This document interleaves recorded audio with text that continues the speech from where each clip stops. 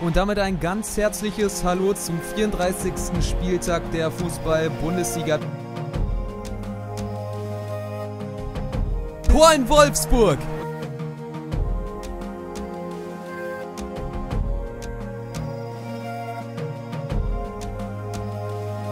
Für Borussia Dortmund geht es um nichts anderes als, wie eben angesprochen, die Meisterschaft. Dazu müssen sie gewinnen. Der Traum. Jetzt aber in die Allianz Arena. Ja, und bei Anpfiff werden die Bayern erstmal Meister sein. Tor in Gladbach! Ja, Frankfurt muss gewinnen, um in die Champions League zu kommen, aber wenn es nicht Jovic wäre, dann würde man nicht glauben, was man sieht. Für Frankfurt jetzt ein Treffer zu erzielen, sich selbst in die Champions League zu katapultieren und Dortmund zum Meister zu krönen. Tor in München! Es ist nicht zu glauben! 37. Spielminute. Und damit ein ganz herzliches Hallo zur letzten Prognose der Saison 2018-2019, zumindest was die Bundesliga anbetrifft.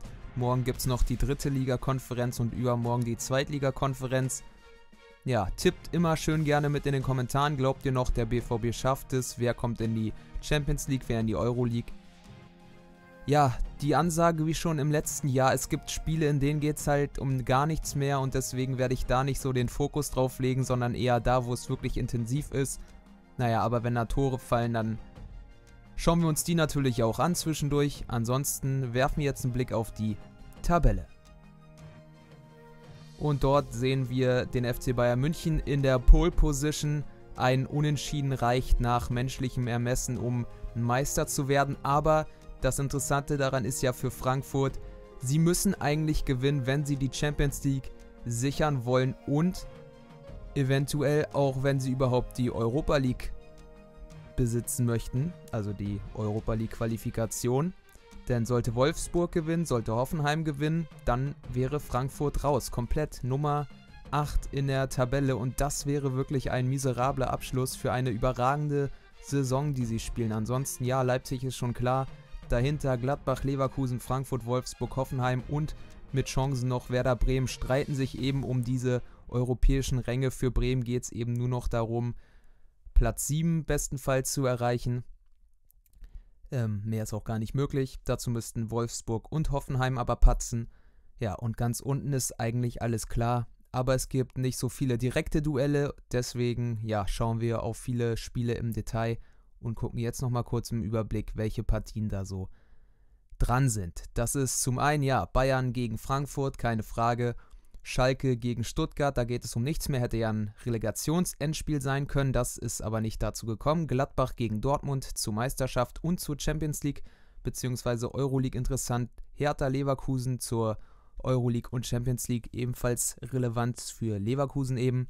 Bremen, Leipzig, für Leipzig ist alles klar. Bremen möchte noch in die Euroleague, haben wir eben schon gesehen. Freiburg, Nürnberg, ja, letztes Spiel von Nürnberg in der Bundesliga erstmal für die nächste Zeit. Mainz gegen Hoffenheim, da geht es für die Gäste eben noch um was. Wolfsburg gegen Augsburg, dafür die Gastgeber. Und Düsseldorf gegen Hannover, auch nochmal das letzte Spiel von Hannover. Jetzt geht aber los in die Konferenz. Und damit ein ganz herzliches Hallo zur 34. Konferenz, zum 34. Spieltag der Fußball-Bundesliga. Wir starten hier in Freiburg. Da ist der erste FC Nürnberg zu Gast. Die Frage, warum starten wir hier? Und warum schauen wir uns unten Stuttgart in Gelsenkirchen auf dem kleinen Bildschirm an? In diesen beiden Partien geht es um nichts mehr. Beide Teams oder alle vier Teams in diesem Falle haben weder nach oben noch unten irgendwelche Chancen. Europa League Abstieg, das alles entschieden. Und dementsprechend wird der Fokus auf anderen Partien liegen. Dennoch wollen wir hier vorbeischauen, wenn Tore fallen, ebenso wie auf Schalke. Jetzt aber erstmal nach Wolfsburg. Ja, hier geht es zumindest für die Wölfe noch um einiges und im Prinzip geht es darum, durch einen Sieg die Europa League Qualifikation zu schaffen. Die Champions League dürfte wohl kaum noch erreichbar sein. Dazu ist das Torverhältnis deutlich zu schlecht und es stehen eben drei Mannschaften noch drüber. Zu Gast ist der FC Augsburg. Die verloren zuletzt 3 zu 4 gegen Hertha, aber die Fuggerstädter sind schon gerettet. Apropos Hertha, da schauen wir jetzt auch hin. Werfen gerade noch einen Blick auf die Aufstellung der Hertaner beim letzten Heimspiel, beim letzten Spiel überhaupt für Paul Dardai bei der Hertha aus Berlin. Vielleicht wird er ja irgendwann nochmal zurückkehren, aber in diesem Jahr sollte es einfach nicht mehr sein. Zu Gast ist Bayer 04 Leverkusen und die schielen natürlich auf den vierten Tabellenrang. Da steht Borussia Mönchengladbach. Diese Aufstellung hier soll es richten. Weiser in Startaufstellung, Lars Bender etwas angeschlagen. Wird eben durch Weiser vertreten. Alario in der Sturmspitze. Wir hoffen mal, dass es hier extrem torreich wird. Das hatte Hertha zuletzt immer wieder drin am 34. Spieltag. Später mehr dazu. Und deswegen jetzt erstmal nach Mainz. Zu Gast ist die TSG aus Hoffenheim. Und unten rechts sehen wir im kleinen Kasten Bremen gegen RB Leipzig. Das eben auch in der Konferenz. Warum werfen wir hier zwei Spiele in einen Topf? Das liegt daran, dass Hoffenheim und Bremen auf Platz 8 bzw. Platz 9 stehen und noch ja, minimale Chancen, vor allem Werder Bremen, nur Kleinstmöglichkeiten haben auf die Europa League. Hoffenheim muss gewinnen und dann eben schauen, dass Frankfurt oder Wolfsburg patzen und die Hausaufgaben hier in Mainz eben selber erledigen. Da schauen wir auch später drauf, ganz klar. Es geht in der Meisterschaft noch um was und deswegen wollen wir da jetzt auch hinschauen, ab in den Borussia Park. Das Treffen der Borussen und für Borussia Dortmund geht es um nichts anderes als, wie eben angesprochen, die Meisterschaft. Dazu müssen sie gewinnen und auf Bayerns Ausrutscher gegen Frankfurt einer Niederlage hoffen, auf eine Niederlage hoffen, auf eine Niederlage plädieren. Das dürfte äußerst schwer werden, weil Bayern ja stabil ist. Aber auch Gladbach dürfen wir nicht vernachlässigen. Platz 4, die Europa League. Werder Gau die Champions League wäre der Traum. Jetzt aber in die Allianz Arena.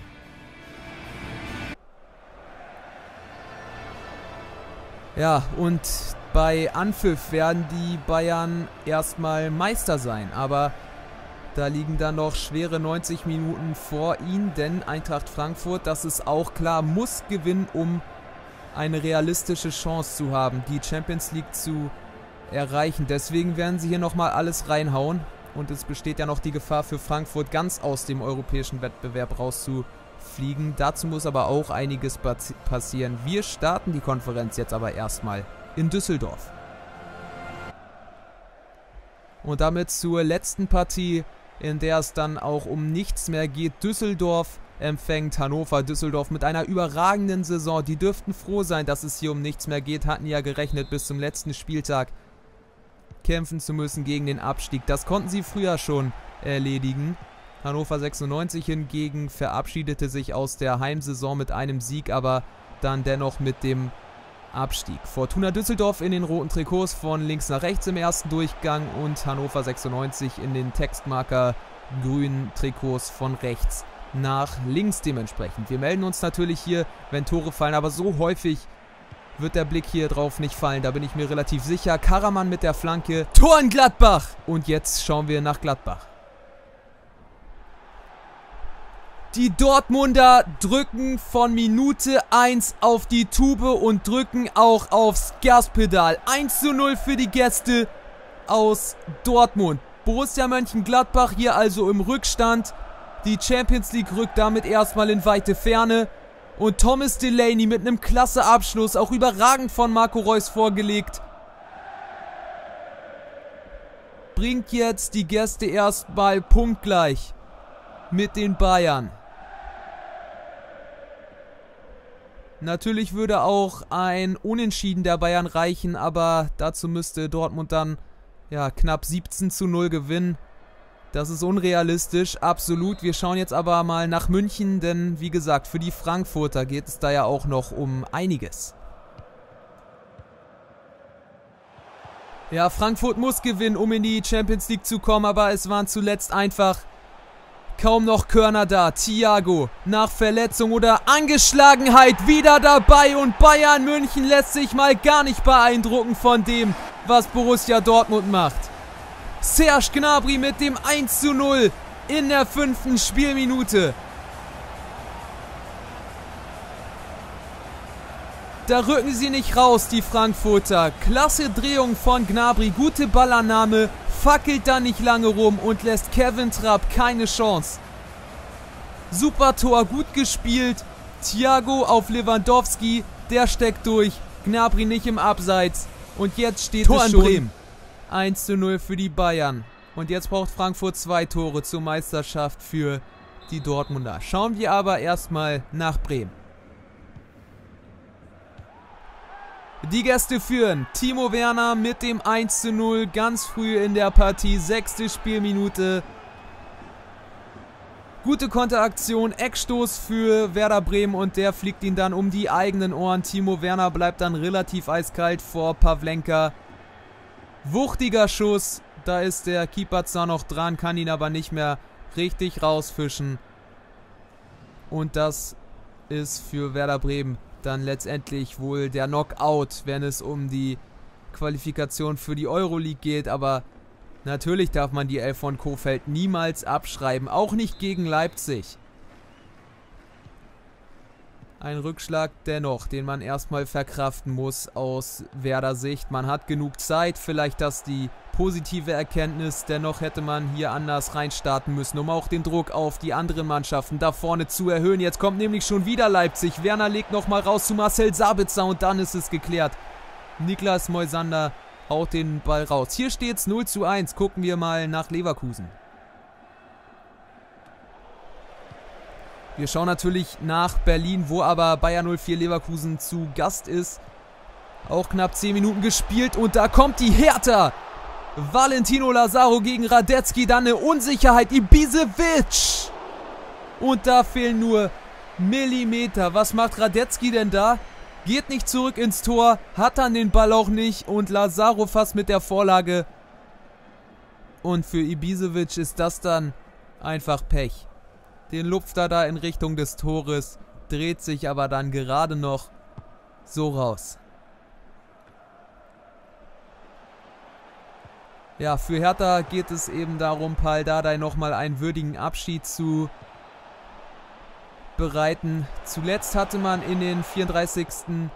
Runden oder am 34. Spieltag immer 2 zu 6 verloren gegen Leipzig und Leverkusen in aufeinanderfolgenden Jahren. Das ist nicht das, was man sich so wünscht als Hertha-Fan. Heute soll es mal anders ausgehen. Stand jetzt sieht es ganz gut aus, aber es kann dann ja auch mal postwendend gehen. Jetzt erstmal Cielbrett. Und der Abschluss von Duda ist nicht schlecht. Schauen wir nochmal drauf und dann geben wir eine Station weiter.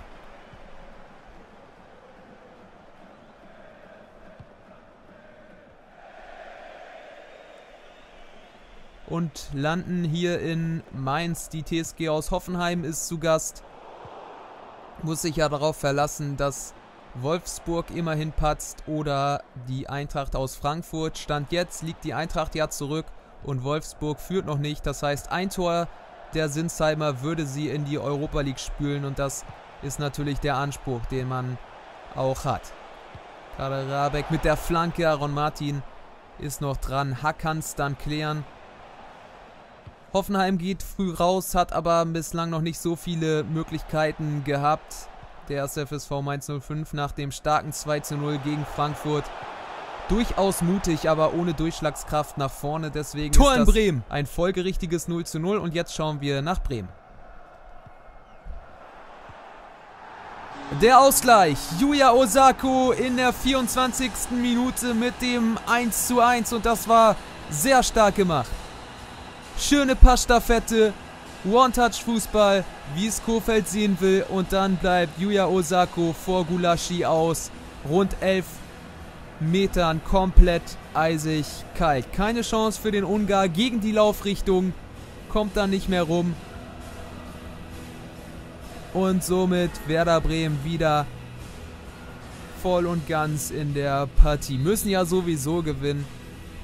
Dann davor Frankfurt die sind nicht mehr relevant. Wolfsburg auf Platz 7, Hoffenheim auf Platz 8, da muss es rumgehen, die irgendwie einzuholen.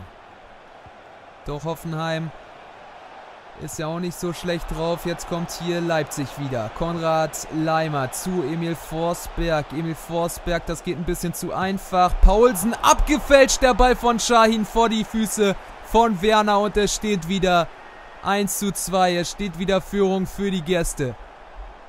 Keine halbe Stunde gespielt, drei Treffer. Doppelpark Timo Werner.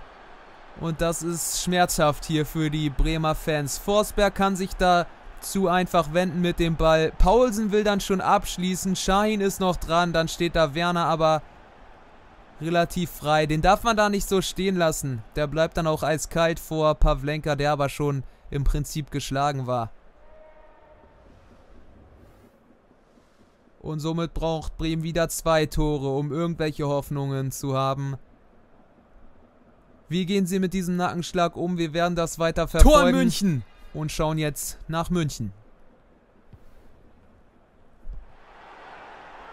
Der Ausgleich ist schon mal da. 28. Minute. Luka Jovic mit dem 1 zu 1. Und wenn es nicht Jovic wäre, dann würde man nicht glauben, was man sieht. Aber was ist das für ein fantastisches Tor?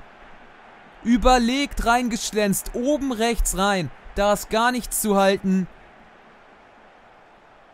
Ein wunderschönes Tor. Und damit wieder etwas mehr Spannung zumindest im Meisterschaftskampf. Keine halbe Stunde gespielt. Und die Frankfurter sind wieder da. Ein Treffer jetzt für Frankfurt. Und Bayern würde in letzter Sekunde die Schale noch aus den Händen gleiten. Ist noch nichts passiert, aber damit müssen jetzt Tor auch auf Schalke umgehen. Und jetzt schauen wir nach Gelsenkirchen. Die Schalker führen durch Brill Donald Mbolo. 29. Spielminute. Die Führung für die Gastgeber. Für Stuttgart geht es eigentlich darum, sich vor der Relegationspartie nochmal einzugrooven. Nach dem guten Erfolg gegen Wolfsburg, dem 3 zu 0, nochmal diese Leistung zu bestätigen. Jetzt liegen sie hier erstmal zurück und damit müssen sie umgehen. Für Schalke ist ja nach einer katastrophalen Saison dann tabellarisch schon alles sicher. Dennoch wird da auch im Nachhinein, im Nachgang noch drüber diskutiert werden müssen. Aber das war jetzt erstmal ein schönes Tor von Mbolo. 1 zu 0, also ein Linkschuss oben links rein. Keine Chance für Ron Robert Zieler. Der VfB Stuttgart macht hier keine so schlechte Partie, ist auch mutig nach vorne und da will ich ja zu neuer Kraft gekommen.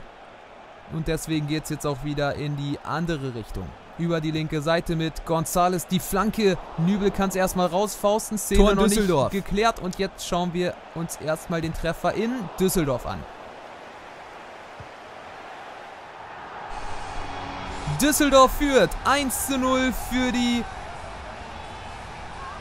Fortuna. Kenan Karaman. Natürlich ist er der Torschütze. Ex-Hannoveraner.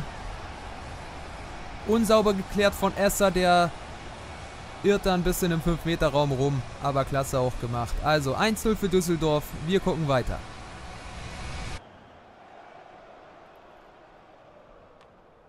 Gab gerade eine gute Möglichkeit für Borussia Mönchengladbach zum Ausgleich und dann wäre in der Meisterschaft sowieso alles gegessen gewesen. Aber so, ja, kommt nochmal Spannung auf und Borussia Dortmund stand jetzt ja punktgleich mit den Bayern. Über die linke Seite jetzt mit Jaden Sancho. Schöne Flanke, gar nicht schlecht, aber da ist kein Abnehmer. Axel Witzel verliert dann den Ball an Michael Cuisance und Hazard mit der Möglichkeit, Tor in München! Gegenangriff einzuleiten. Und jetzt schauen wir natürlich schnell nach München. Es ist nicht zu glauben! 37. Spielminute und Stand jetzt 16 Uhr 8 wäre Borussia Dortmund deutscher Fußballmeister 2018-2019. Ante Rebic völlig frei, hämmert den Ball rein, keine Chance für Sven Ulreich. Wir schauen auf die Tabelle.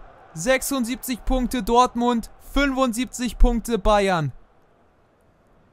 Bayern muss jetzt kommen. Ein Treffer fehlt zur Meisterschaft. Und jetzt haben wir tatsächlich nochmal Drama. Und für Frankfurt bedeutet das ja auch die Möglichkeit auf die Champions League, weil Bayern 04 Leverkusen und Gladbach beide nicht führen. Unglaublich, was sich hier abspielt. Bayern will gleich antworten, kommt jetzt über die linke Seite. Tor auf Schalke. Mit Kingsley Coman. Das Tor wollen wir natürlich mitnehmen. Da ist der Ausgleich. 40. Spielminute. Anastasios Donis macht hier den Gästeblock erstmal etwas glücklicher. Ball wird abgefälscht vor die Füße von Donis. Macht er richtig stark. Mit dem rechten nimmt er ihn an. Mit dem linken hämmert er ihn oben links in, ins Eck. Ist auch noch leicht angelupft. Keine Chance für Nübel. Ab nach Freiburg. Ja, hier haben wir noch nicht so viele Impressionen gesammelt. Dabei ist das eine ganz nette Partie. Nils Petersen hier nach exakt 40 Minuten mit dem schönen Schlenzer. Und es gibt Möglichkeiten auf beiden Seiten. Einzig eben die Ausgangslage, die diese Spannung, die spielerisch durchaus aufkommt, nicht wirklich ins Gemüt von den neutralen Zuschauern bringen kann. Fünf Minuten noch bis zum Pausenpfiff. Nürnberg möchte sich natürlich nochmal mit einem schönen Erlebnis verabschieden. Freiburg hat aber gepatzt und zwar ordentlich gegen Hannover beim 3 zu 0. Natürlich war Christian Streich nicht zufrieden, nahm aber sofort seine Mannschaft in Schutz, wie er da ebenso drauf ist. Absolut auch zu Recht. Freiburg hat ja auch wirklich eine klasse Saison gespielt. Mit dem Abstieg kaum mal was zu tun gehabt. Und auch frühzeitig gerettet. Das ist alles, was zählt hier im Breisgau. Der erste FC Nürnberg hat es eben nicht geschafft. Kommt jetzt aber im Strafraum zu einer gefährlichen Aktion. Schwolo, Nachschuss von Löwen. Nachschuss von Ishak. Gute Parade von Schwolo hier, dann Löwen wird da gestört. Also hier steht es kurz vor der Pause weiterhin. Tor in Berlin! 0 zu 0 und jetzt wollen wir nach Berlin schauen. 1 zu 0 für Hertha und Bayern 04 Leverkusen kann Stand jetzt die Champions League erstmal abhaken. Da müsste jetzt einiges passieren, dass sie da noch reinkommen. Sie müssten selber die Partie drehen. Und danach sieht es aktuell einfach nicht aus. Nach vorne machen sie kaum etwas. Ein Punkt würde dann nur reichen, wenn Gladbach wirklich nicht noch einen Punkt holen sollte gegen Dortmund. Das ist alles spekulativ. Wir schauen gleich auf die Tabelle, aber nochmal nach München. Ja, wir schauen in der Halbzeit auf die Tabelle, was sich da alles so bewegt hat. Jetzt aber nochmal die Münchner vorm Pausenpfiff. Serge Gnabry, starke Parade von Trapp. Szene noch heiß. Thomas Müller und Josua Kimmich, der setzt sich da vorne immer und wieder ab. Goretzka zu Thiago. Der ist ganz wichtig, dass er nach dieser angeschlagenen Periode wieder dabei ist. Sieht man hier. Und Robert Lewandowski mit dem Ausgleich. Dritte Minute der Nachspielzeit im ersten Durchgang. Und die Bayern stand jetzt wieder Tabellenführer. Spektakulär, was hier passiert. Und was ist das auch wieder für ein Tor? Tor in Mainz. Wir gucken uns den Treffer in Mainz gleich an. Was für ein Abschluss. Das ist ja Luka Jovic. Part Nummer 2. Ab nach Mainz. Hoffenheim führt und schießt sich damit in die Europa League Stand jetzt. Ishak Belfodil macht das Ding. Ebenfalls wie in München, dritte Minute der Nachspielzeit. Gute Flanke von der rechten Seite und dann hält Belfodil die Fußspitze hin. Niakate kommt nicht richtig in den Zweikampf und Florian Müller ist aus kurzer Distanz dann geschlagen. Die Flanke kann natürlich auf der rechten Außenbahn auch verhindert werden. Da standen genügend Mitspieler bzw. Gegenspieler bei Kaderabek. Die Flanke kommt trotzdem rein. Ishak Belfodil hat den Killerinstinkt in dieser Rückrunde auf jeden Fall gepachtet. Mainz liegt zurück. Ja, für die geht es um nichts mehr. So spielen sie hier auch über weite Teile. 0 zu 1, also in den anderen Stadien ist Pause bis auf Wolfsburg. Also nochmal in den Norden. Ja, Stand jetzt wäre Wolfsburg aus der Europa League raus, denn eben Hoffenheim, gerade gesehen, führt mit 1 zu 0. Und hier ist jetzt auch Pause. Die Wölfe können nicht zufrieden sein. Die Europa League soll es dann am Ende sein. Wir sehen hier Wout Wechhorst noch ohne jeglichen Akzent nach vorne. Aber das ist ein Phantom, der muss nur einmal bedient werden und dann wird es gefährlich. Also, überall ist Pause. Wir schauen jetzt in der Halbzeit mal auf die Resultate und was das dann für die Tabelle bedeuten würde. Ja, durch das 2 zu 2 jetzt von den Bayern, also doch wieder die Münchner auf Platz 1 nach Halbzeitstand Frankfurt, aber trotzdem durch nur ein 2 zu 2 in Anführungszeichen gegen die Bayern auf Platz 4, weil Gladbach und Leverkusen beide zurückliegen. Hoffenheim führt dadurch auf Platz 7. Wolfsburg wäre aus der Europa League raus. Aber was bringt es hier lange drum rum zu diskutieren? Das ist alles nur Makulatur. Wir schauen jetzt auf den zweiten Durchgang. Ja, und noch kurz dazu gesagt, wenn es euch gefällt, würde ich mich über einen Daumen nach oben und ein Abo natürlich freuen. Dennoch, jetzt geht es erstmal weiter mit der Konferenz. Viel Spaß und nochmal danke fürs Zuschauen. Wir sind zurück im Weserstadion. Da hatte Timo Werner in der sechsten Minute das 1 zu 0 für die Gäste erzielt aus Werder-Sicht. Ein miserabler Start. Die gute Anfangsphase der Leipziger konnten die Gäste dann erstmal nicht bestätigen und kassierten dann folgerichtig in der 24. Minute das 1 zu 1 durch Yuya Osako. Da blieb er vor Gulaschi eiskalt, schiebt den Ball entgegen die Laufrichtung halb hoch ein. Doch nur vier Minuten später der erneute Rückstand. Timo Werner mit dem Doppelpack mit dem 2 zu 1 und damit wären jegliche Europa League-Träume für Werder Bremen ausgeträumt. Aber Hoffenheim spielt ja auch sowieso nicht mit, da diese ja führen. Jetzt schauen wir auf die zweite Hälfte. Jetzt Leipzig von links nach rechts, das ist klar.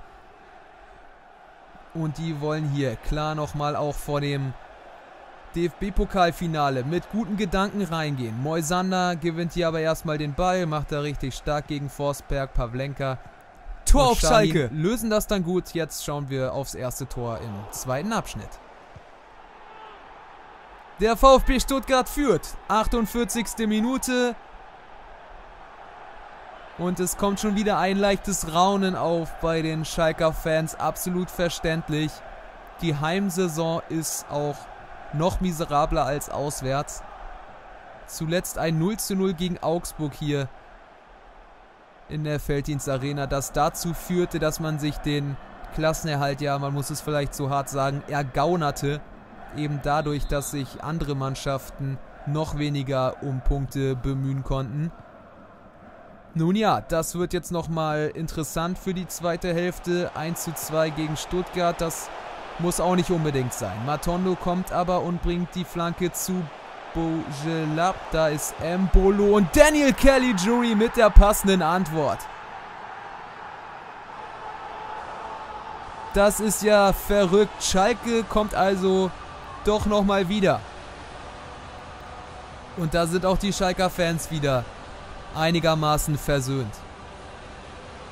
Stark gemacht von Embolo, nochmal auf den Ball raufgetreten, dann rübergelegt auf den mitgelaufenen Kelly Drewy. Und dass der einen Drang nach vorne hat, ist ja auch national durchaus bekannt.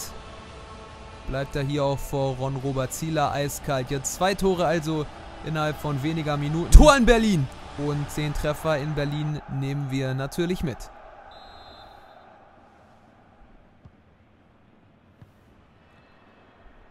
Leverkusen gleicht aus und das hat erhebliche Auswirkungen auf die Verteilung der Europa League und Champions League Plätze, dieses 1 zu 1.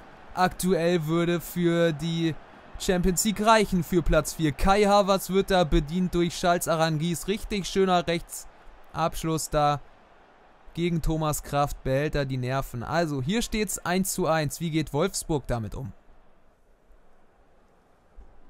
Ja, Wolfsburg schaut sicherlich mit einem neidischen Blick da in die Hauptstadt und allgemein die Fans, die in diesem Stadion sind, haben bislang noch echt viel ja, zu erwarten, denn nach unten können die Erwartungen eigentlich kaum noch bestätigt Tor in Bremen. werden. Oh, Gott sei Dank. Also schnell weg hier, wir wollen Tore sehen. Yusuf Paulsen mit dem 1 zu 3. Ein Nackenschlag für Bremen mal wieder kurz nach Anpfiff eines Durchgangs. Forsberg macht da mit dem Ball auch was er will, legt ihn dann einfach quer rüber zu Paulsen, der hält die Seite hin. Und Pavlenka kommt nicht mehr rechtzeitig runter aus der Distanz, aber auch da kein Vorwurf. Sehr gut gemacht vom Dänen die Übersicht behalten, eingeschoben und das könnte jetzt der Knockout für Werder Bremen bereits gewesen sein. Pizarro geht. Klar, da gibt es eventuell nach dem Spiel noch Feierlichkeiten. Vielleicht verlängert er aber auch nochmal. Sargent kommt jetzt jedenfalls. Wir wollen aber nach München schauen. Ja, und dieses Spiel passt zur Saison von den Bayern. Ein Hin und Her der Gefühle, Gegentore, Defizite in der Verteidigungsarbeit. Und jetzt kommen sie wieder nach vorne, denn die offensive Kraft besitzen sie ja. Das 3 zu 2 wäre vermutlich so etwas wie die Erlösung, denn ein Tor von Frankfurt würde Dortmund zu Meister und Bayern zum Vizemeister machen. Jetzt geht Ante Rebic, der hatte das 2 zu 1 erzielt, Sebastian Aller kommt rein. Aber so langsam merkt man auch wieder, dass bei den Frankfurtern die Kräfte schwinden, sowohl mental als auch körperlich. Über eine halbe Stunde ist aber noch zu gehen und sie wollen durchaus Schützenhilfe leisten für Borussia Dortmund, aber auch aus eigenem Interesse die Champions League dann noch erreichen zu können. Und jetzt kommen sie auch über die rechte Seite. Sebastian Aller mit der Flanke. Jovic hat da ein bisschen Glück und trotzdem bekommt Bayern den Ball. Thomas Müller arbeitet mit nach hinten. Klar, das muss jetzt hier auch erstmal verteidigt werden. Lewandowski und Thiago im Zusammenspiel. Koman kommt aber gegen David Abraham nicht durch. Es ist eigentlich mittlerweile eine Partie mit offenem Visier. Chancen gab es bislang aber zu selten. Tor in Freiburg. Zweiten Abschnitt und jetzt schauen wir mal nach Freiburg. Das 1 zu 0 für die Gäste und bei den Freiburgern ist ebenso wie bei Frankfurt scheinbar die Luft. Tor in Düsseldorf. Wir gucken gleich auch nach Düsseldorf. Hier steht es auf jeden Fall 1 zu 0 für die Klubberer die sich nochmal mit einem Sieg verabschieden möchten. Schöne Flanke von der linken Seite. Virgil Misijan am zweiten Pfosten piekt den dann aus Spitzenwinkel rein. Da sieht Schwolo auch nicht glück, glücklich aus. Von seiner Schulter prallt der Ball ins Netz. Also hier steht es 1 zu 0 für die Gäste. Ab nach Düsseldorf.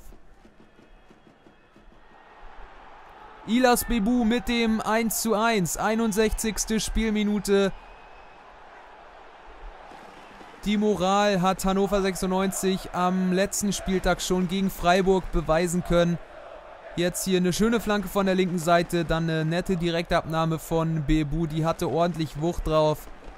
Rensing sieht aber auch nicht so ganz glücklich aus.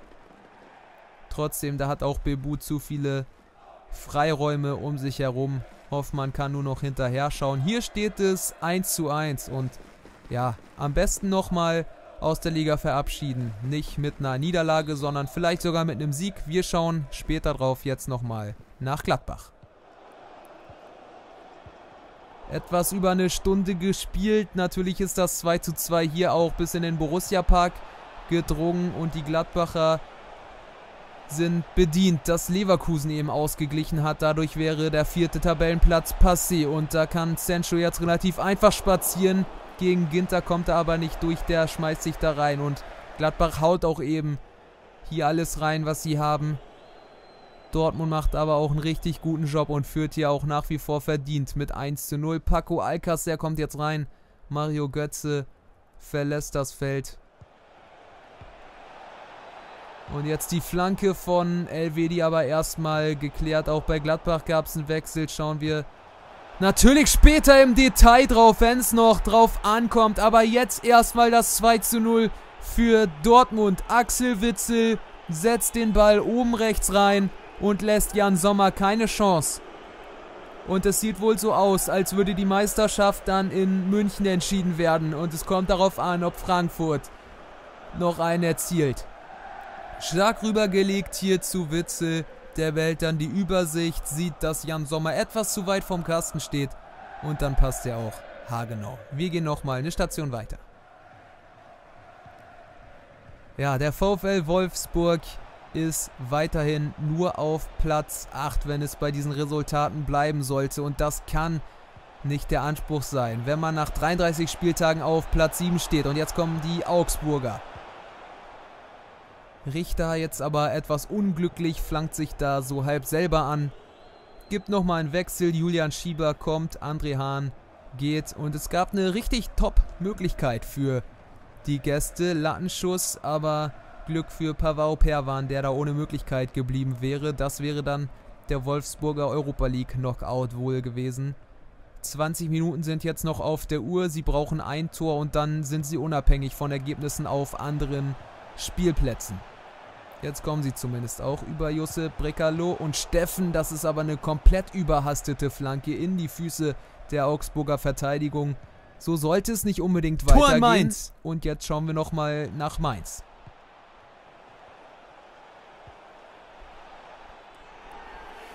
Ja, also Wolfsburg darf auf jeden Fall nicht auf Schützenhilfe aus Mainz hoffen, denn die Sinsheimer führen hier mit 2 zu 0. Ich denke mal, das war's dann auch. Joel Linton nach Verletzungspause wieder dabei.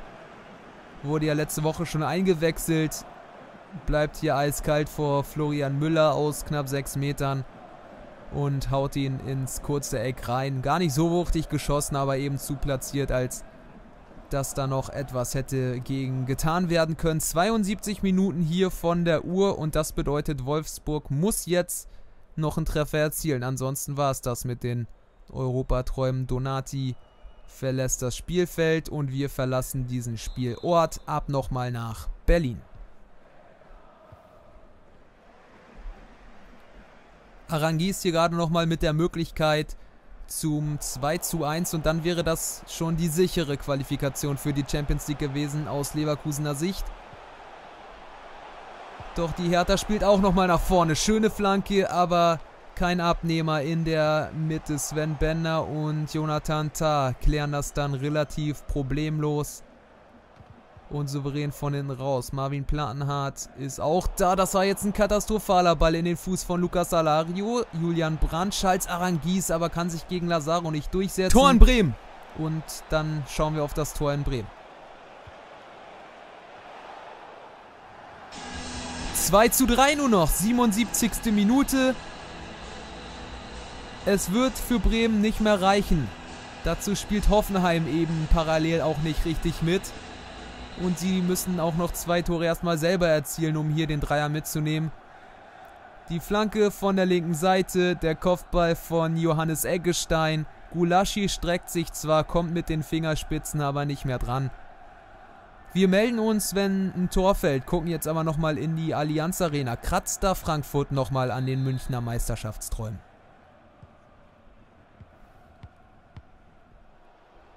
Erstmal gab es hier eine bittere Szene. Niklas Süle musste verletzt raus, verletzte sich hier im Zweikampf mit Sebastian Aller, aber das war einfach nur unglücklich. Da konnte der Franzose gar nichts für. Jerome Boateng jetzt dafür mit dabei, letzte Viertelstunde und Boateng hatte schon einige Wackler drin in dieser Saison.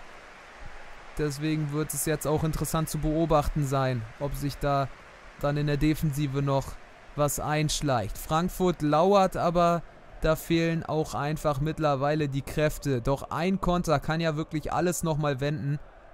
Stand jetzt weiterhin die Bayern deutscher Meister. Dieser Punkt würde reichen, weil Dortmund ein zu schlechtes Torverhältnis hat. Jetzt der Siegtreffer oder der Führungstreffer und dann wäre alles vorbei gewesen. Schön hier gemacht. Die Flanke dann der Kopfball ist aber zu harmlos. Kein Problem für Kevin Trapp. Und jetzt nochmal Frankfurt.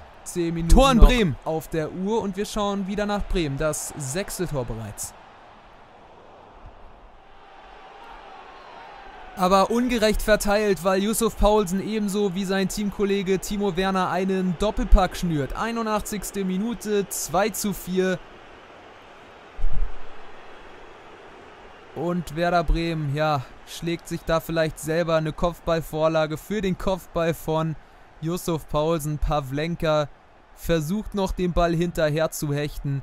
Der ist eben nicht mit viel Druck, aber sehr platziert gesetzt. Pavlenka ist noch dran, aber gegen den Pfosten und in seine Handinnenflächen hineingeköpft, geht der Ball dann über die Torlinie hinweg und klar und deutlich in den Kasten. Das dürfte es jetzt wohl gewesen sein und die Leipziger mit einer fantastischen Generalprobe für das DFB-Pokalfinale dann gegen die Münchner Bayern in einer Woche am Samstagabend.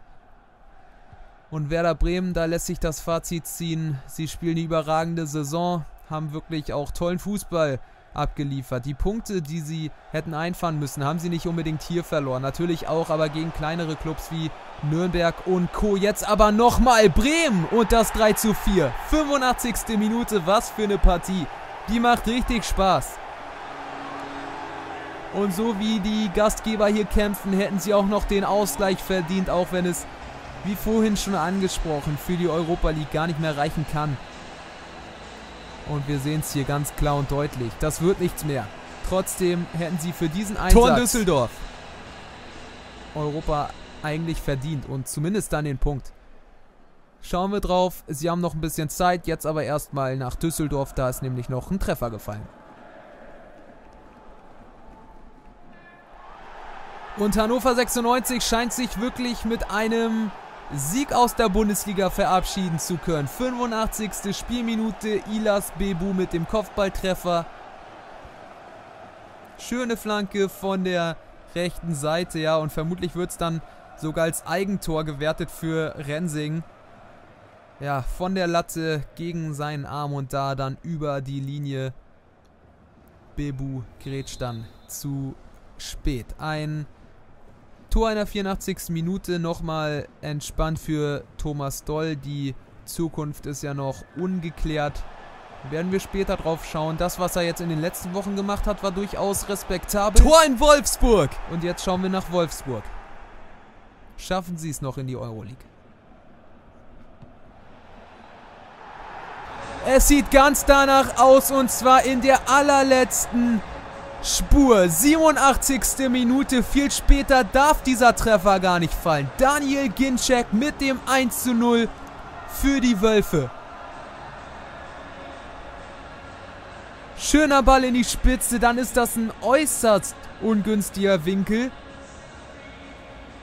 Und Kobel reagiert gar nicht mehr. Guckt den Ball nur noch ins Netz rein. Und Daniel Ginczek sorgt dafür, dass der VfL Wolfsburg nun doch in der nächsten Saison europäisch spielen wird. Da sehen wir es. Leverkusen Champions League, Hoffenheim und Bremen komplett raus. Nicht mal Euroleague. Wir wollen jetzt aber nochmal nach München schauen. Abseitssituation hier für Frankfurt. Und da ja Dortmund die Möglichkeit selber am Leben hält, geht es darum für Frankfurt jetzt einen Treffer zu erzielen, sich selbst in die Champions League zu katapultieren und Dortmund zum Meister zu krönen. Dazu fehlt ein Tor und das ist doch eigentlich Wahnsinn, dass das noch möglich ist an diesem Zeitpunkt. Tor in Mainz! Saison. Schauen jetzt aber erstmal nochmal nach Mainz. Ja, für Hoffenheim oder für die Mainzer? Nochmal für Hoffenheim das 3 zu 0. Und so, wie sie hier auch spielen, wie sie ihre Möglichkeiten verwandeln, das hätten sie in den direkten Duellen einfach machen müssen. Gegen Bremen, gegen Leverkusen und Co. Es wird nicht reichen für die Euroleague. Wir haben die Tabelle eben gesehen.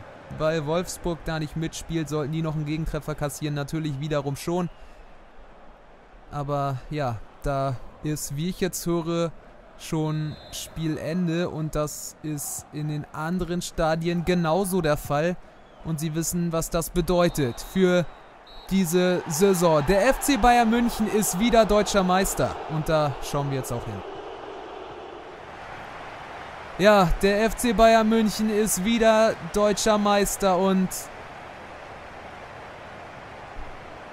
Die Freude ist jetzt mal größer als in den vergangenen Jahren. Eine Meisterschaft am 34. Spieltag klarzumachen, ist logischerweise nochmal etwas Spezielleres. Wir beglückwünschen die Münchner Bayern, aber wollen auch nicht den überragenden Vizemeister aus Dortmund unter vorgehaltener Hand lassen. Das war eine starke Saison und auch vielen Dank an dieser Stelle an die Dortmunder. Der Trost wird relativ klein sein und am Ende ist es vielleicht typisch, dass es nur ein 2 zu 2 ist vom FC Bayern München, der zur Meisterschaft reicht. Aber das jetzt nochmal zum Abschluss. Das hier die Feierbilder. Wir schauen gleich auf die einzelnen Tore und die Tabelle. Wie es dann am Ende ausschaut, das soll es aus der Konferenz gewesen sein. Vielen Dank für die Aufmerksamkeit und bis dahin bleiben Sie am Ball.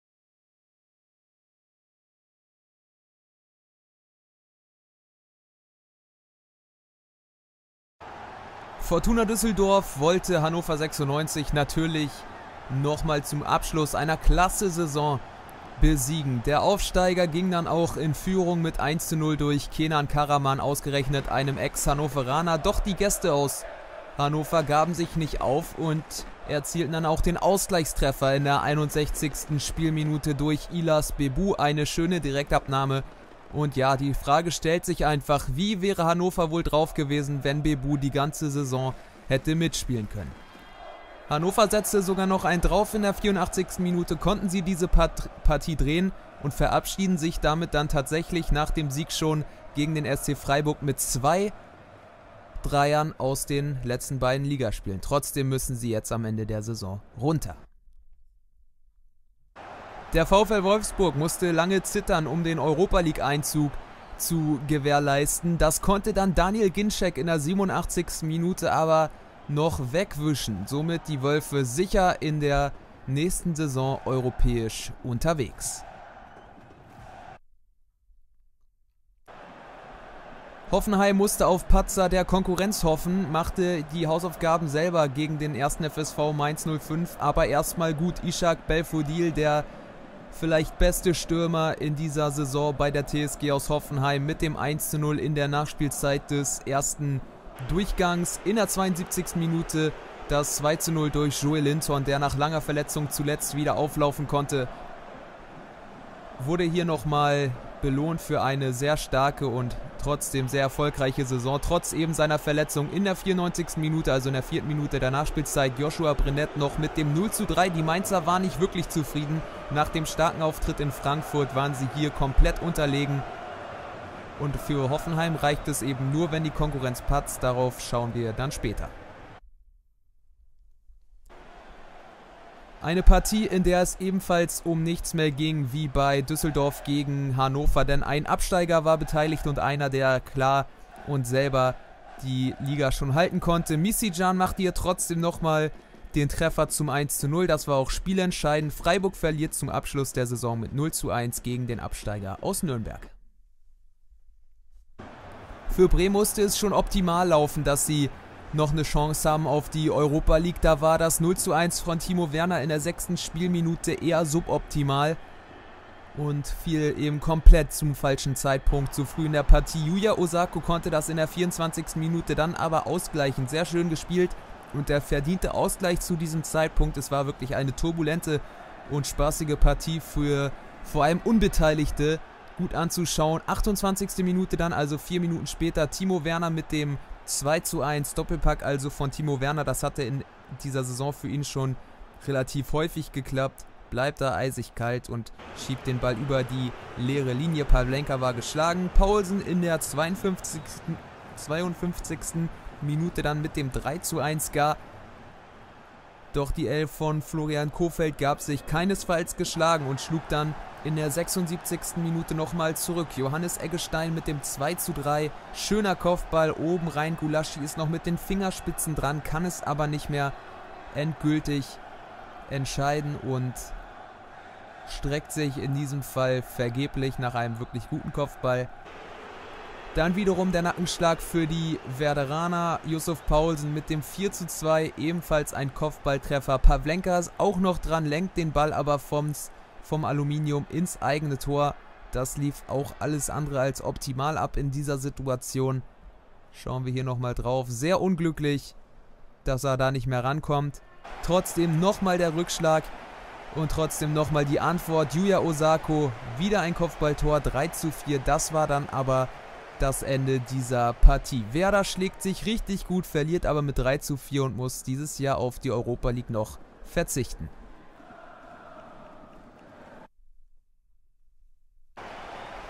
Hertha BSC wollte Leverkusen ärgern und die Champions League versauen für die Bosch 11 und so war es Andrei Duda kurz vorm Pausenpfiff, der das 1 zu 0 auch für die Hauptstädter erzielen konnte im letzten Spiel für Pal Dardai als Cheftrainer. Kai Havertz in der 51. Minute erzielte aber den Ausgleichstreffer. Ein sehr schöner Schuss mit dem rechten Fuß. Klasse Direktabnahme ließ da Thomas Kraft aus der Distanz keine Chance.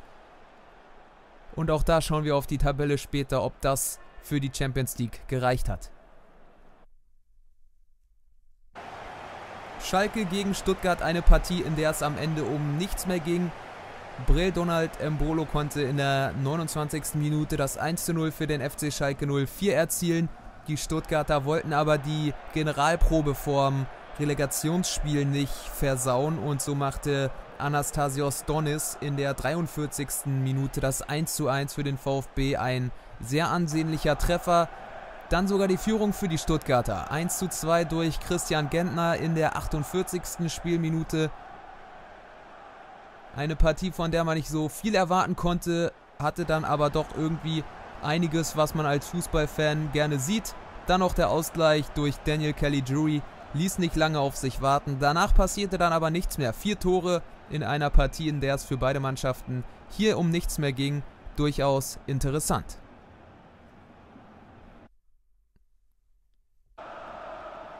Dortmund erledigte gegen Gladbach die Hausaufgaben erstmal selber. So war es Thomas Delaney schon in der Anfangsphase mit dem 1 zu 0 für die Gäste heute in Schwarz auflaufend.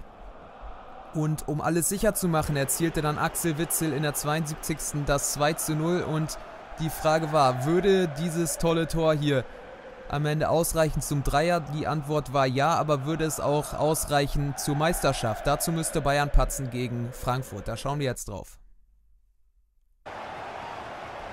Erstmal sah es nicht danach aus, denn in der fünften Minute machte Serge Gnabry das 1 zu 0 für die Münchner. Kann sich dazu einfach drehen. Frankfurt verpasst es rauszurücken. Dadurch war es dann auch kein Abseits. Kevin Trapp ohne Chance. Luka Jovic erzielte aber in der 28. ein absolutes Traumtor zum Ausgleich. Schauen wir uns hier an. Überlegt schlänzt er den ins rechte obere Eck. Der ist wirklich fantastisch getroffen. Und nach 37 Minuten war der BVB erstmal Meister, weil Ante Rebic das 2 zu 1 für die Gäste erzielte und damit auch für die Frankfurter die Chance von der Champions League weiter am Leben erhielt.